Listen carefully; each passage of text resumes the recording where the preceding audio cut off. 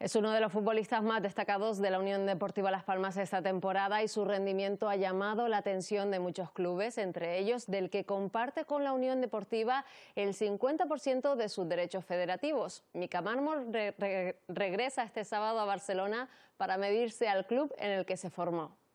Por el perfil de equipo que somos que nos iba a dar rendimiento, es un chico que, es valiente, que tiene muy claro eh, cuáles son sus virtudes y creo que se adapta muy bien a nuestra manera de jugar y estoy muy contento porque eh, se ha adaptado muy bien.